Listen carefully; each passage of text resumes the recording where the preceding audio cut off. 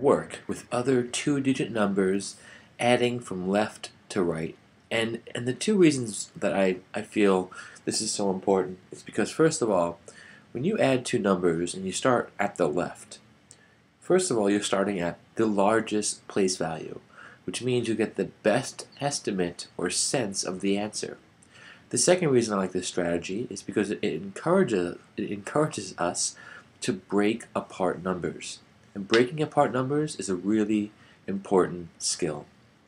So here, what we can do is to add 34 and 20 and then add 6. So we're breaking apart the 26 into these two parts and the first thing we're going to do is group the 20 and 34 to make 54 and then we add 6 more to make 60. So, so in other words, what I really did here was to take 26 and break it apart into two tens, that's right here, the first digit, and then six ones.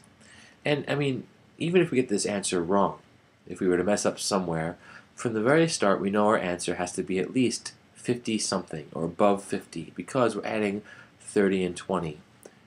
So this process gives us that number sense. And the next one, let's try 88 plus 68. So now, same idea, but instead of adding all the numbers at once, we're going to break apart 68 into two numbers. We're going to break it into six tens, or 60, and then eight ones.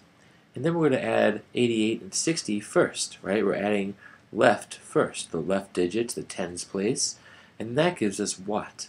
Well, 88 and, and, and 60, think of 8 and 6, which is 14.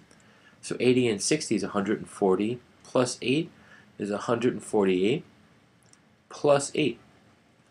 And that is 156. And if we keep going with this, we try one more example in this video, I think you'll see that this process is also easily done mentally, which is nice that we can we can estimate and calculate in our heads as we're working. So let's try 78 and 53. How do we do this one? Well, same as the others, we're adding left first, so we add the 5 and 7, right? But really, I think a quick way is to keep it as 78 plus 50, and then add 3. That's just another way we can do this. So what's 7 and 5? Well, that's 12. So this is 78 and 50 is 128 plus 3, right? We're adding the other 3 from 53. That gives us 131.